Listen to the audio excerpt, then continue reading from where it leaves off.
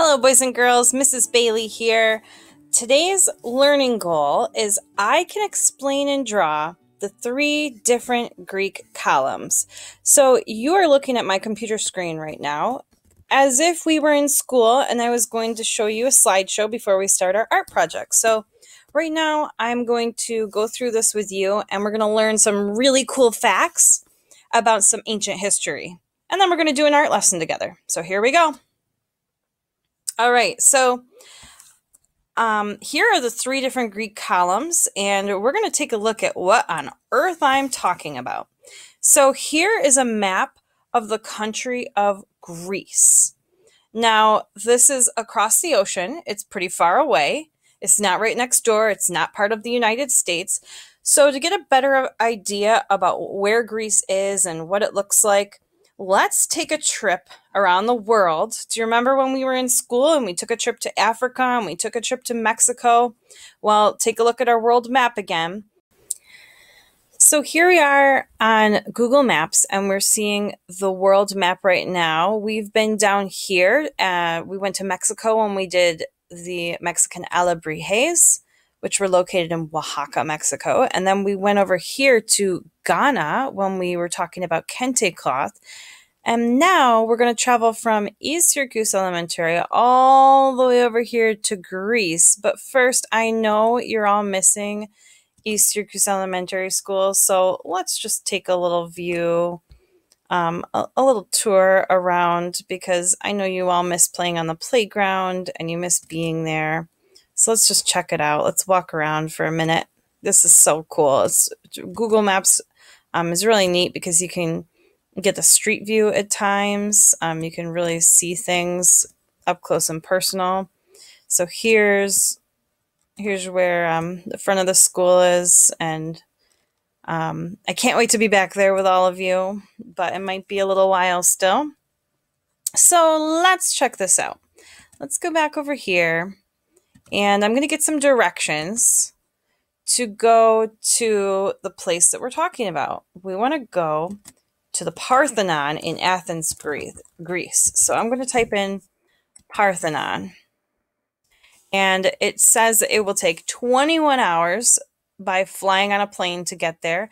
There's no other options. We're not going to bike. We're not going to walk. We're not going to take a car or a bus. Um, so you're going to have to fly and it's going to take about 21 hours. It's going to be a pretty long flight. So if we zoom in to the actual Parthenon, and let's get the actual world view from satellites. So this is what it would um, look like if you were a satellite flying up in the air. Let's just click on this photo and that way we'll be able to see some really interesting photos of the Parthenon, this ancient Greek building. I want you to take a look at these columns because that is what we're going to be focusing on today. I have two short videos to show you in a minute, and one is about the Parthenon itself, and the other is about the column. Do you see any differences in these columns right here from these columns right here? So just take note of that, and we'll talk about that again in a few minutes. So this is a really, really interesting building. Here it is up on a hill where it was built. You can see it from all around Greece. And there's a really, really cool view, and you can see how the city is built all the way around it. Now, because it is so old, it is it is in ruins. It's not an active working structure by any means. It's a it's a place to go visit, and that's why you saw the scaffolding around it in that first picture, because um, they're fixing it and repairing it and making sure that it doesn't f- get any um, further destruction to it. So let's head back to the slideshow for a minute.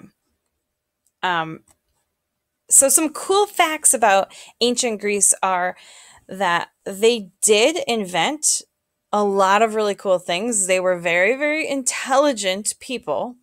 Um, one of the things they invented was the Olympics. So the Olympics, um, the legend said they were founded by Heracles. That's not Hercules. That's a different guy, Heracles, in the year 776 BC.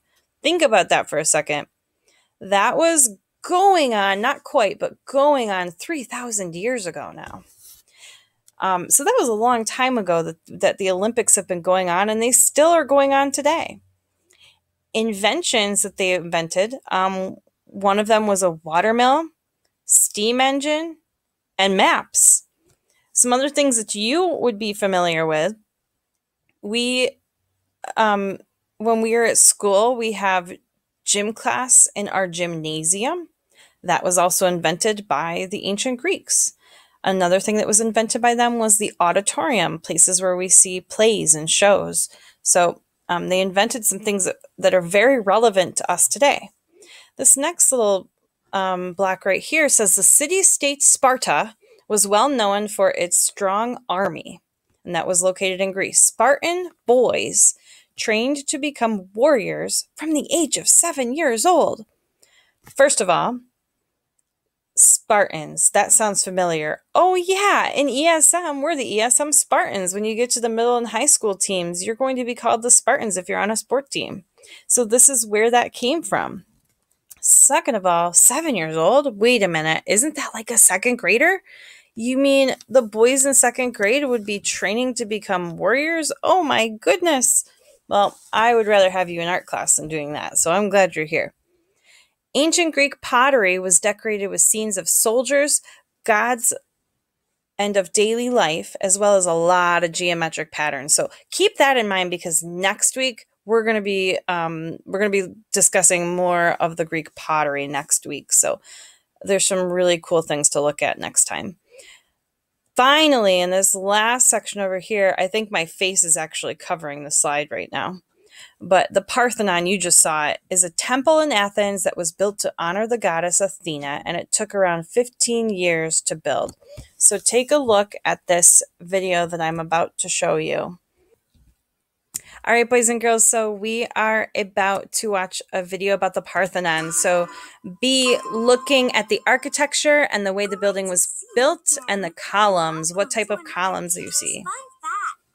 In this episode, we are going to visit the Parthenon in Athens, Greece. First, let's see where Athens is on the map.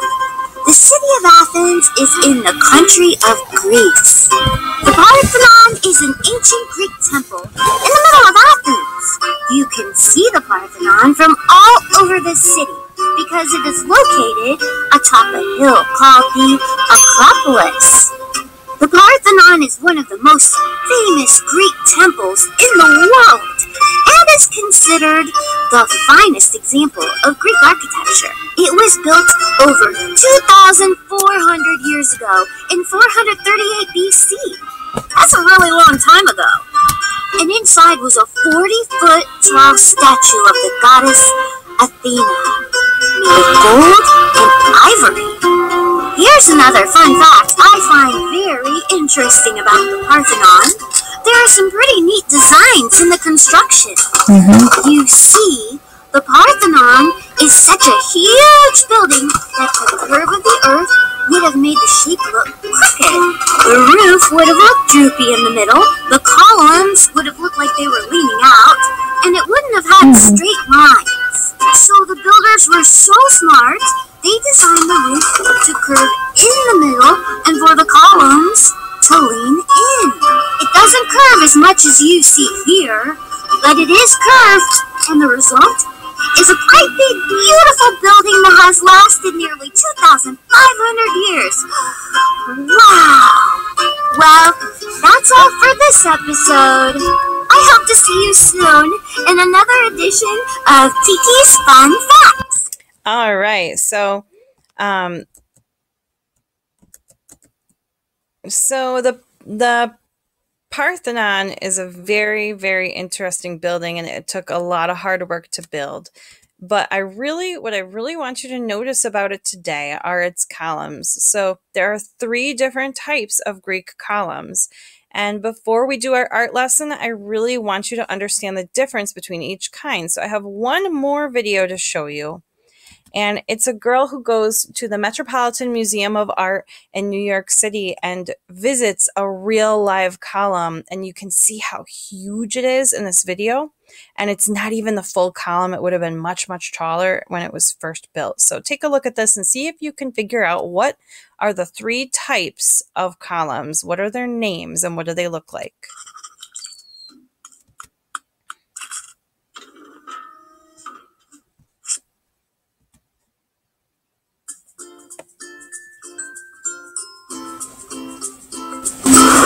Ella, and I'm 10 years old. I'm standing in front of the Ionic column from the Temple of Artemis at Sardis from the day of 300 BC. And this column was originally over 56 feet tall. It's huge! if you come to the Metropolitan Museum, it would be very hard to miss seeing this column. Ancient Greek architects had three different types of columns named the Doric, the Ionic, and the Corinthian columns. The Doric had a simple design. On the top, it's very plain. It's kind of like a half circle in a way. The Ionic has scrolls on both sides of it. There's four spirals, two in the front and two in the back. It kind of looks like a pillow to me. Corinthian, I think, is decorative. Looks like an ornament. It looks like there's leaves coming out of it and then flowers in it, so it looks like a flower bush. They make me feel really small. I like the Corinthian because in the Corinthian you could find hidden flowers and leaves and types of designs, and it's made out of marble too, so it must be so hard to make such fine details for dance, I've been practicing headstands, and when your feet are together and you could hold it, it looks so controlled, like a column. It's so controlled, and it's so strong. Columns are still used today in famous monuments around the world. I do think that people think they're beautiful today. This is Ella reporting from the Metropolitan Museum of Art. Thank you, Ella. Thanks for watching. All right, so we are about to go make our very own column art. But first, I just want to quiz you what type of column column matches which name? So the very simple type of column, which name was that? The Corinthian, the Doric, or the Ionic?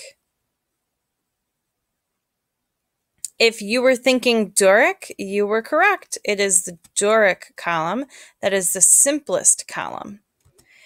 Do you remember which type of column had the scrolls or the swirls on the edge? If you were thinking Ionic, you would be correct. It is the Ionic column. And of course, the one that's left is the Corinthian. It's the most fancy column with the most decoration around the edge and probably the most detailed and difficult one to make. It is called the Corinthian. So join me in our art lesson and stay tuned. Grab a piece of paper and some crayons or markers. If you have paint or a pencil or a pen, whatever it is that you have, I will be using a marker and crayon today. So here is an example of the project that we are going to be making. Can you identify the three different types of columns? We are about to draw them.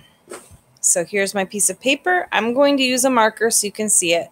I would recommend beginning with pencil.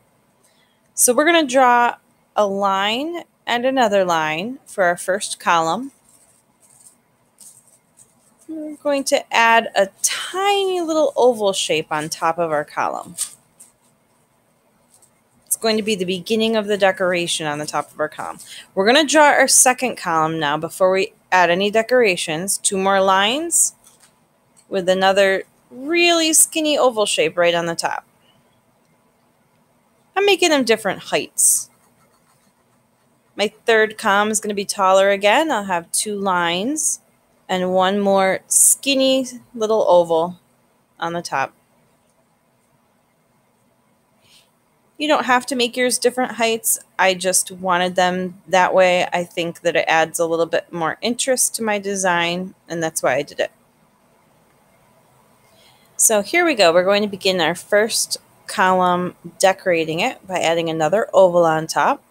Very skinny oval. Now a little bit thicker oval, a little bit wider. This is going to be the most simple column, the Doric. Then we're going to put a rectangle on top of that. And that's that's the top of our column. It's very simple and squared off. And that's what the Doric column looks like. There's not a lot of fancy designs to it or anything. So our second column we're going to do is the Ionic with the swirls on the side. We're going to start with a line up top. We're going to add a spiral line off of each side. There's our first spiral. Here comes our second spiral. Now we're just going to add a curved line right in between those two, connecting them connect my line a little better there.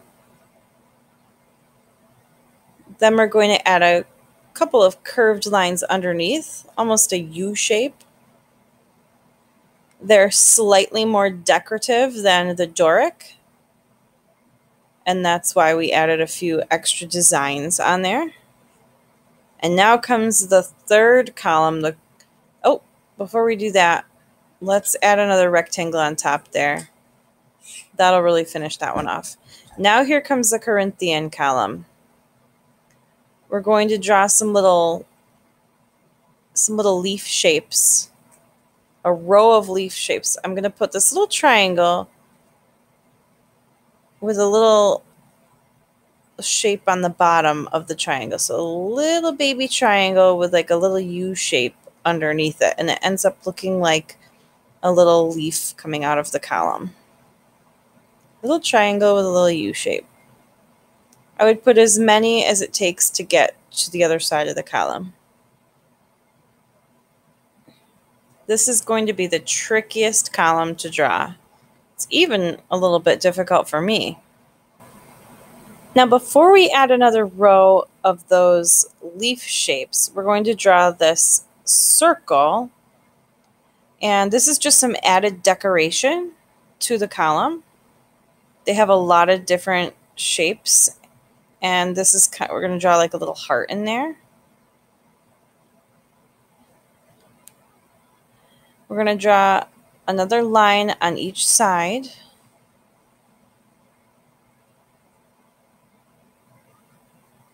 Now we're going to go back through and we're going to draw those little leaf shapes again with the triangle on top and the little U shape underneath little triangle on top, so maybe even like a little oval shape.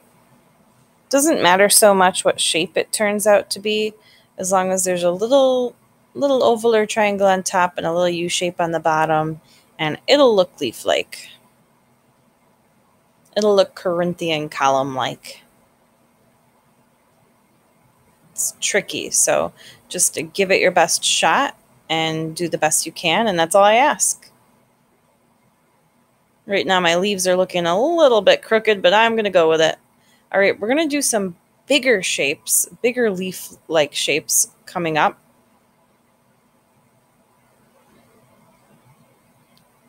It's almost like a really tall, skinny, upside down U. Upside down U shape. Just a whole line of them, a whole row.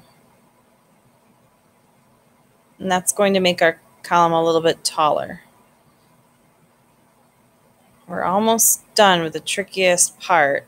And now we have to cap off our column by drawing a line up here, another little tiny little skinny oval with a rectangle on top. Now, if this were truly being built by the Greeks, it would be much straighter and more perfect than what I've drawn. drawn. But as I said before, this is even tricky for me. So I'm proud of you for even trying this right now and doing your best. We're going to go back through and we're going to add some flutes to our columns.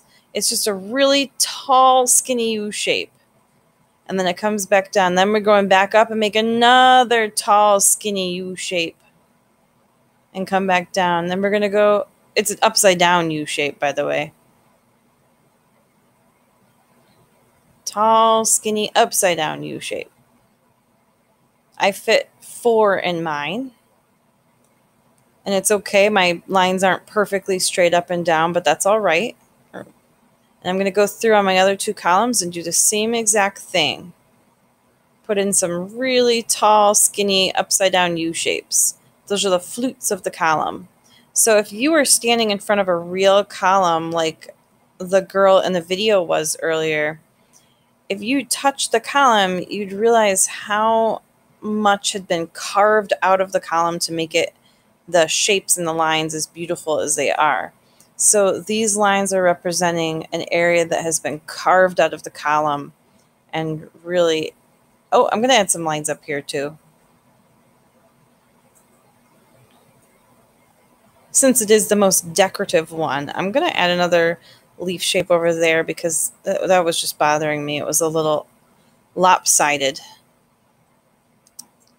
And now we have one more column to draw our flutes on. Tall, upside down U, really, really skinny. It's really just a line that curves at the top and comes back down.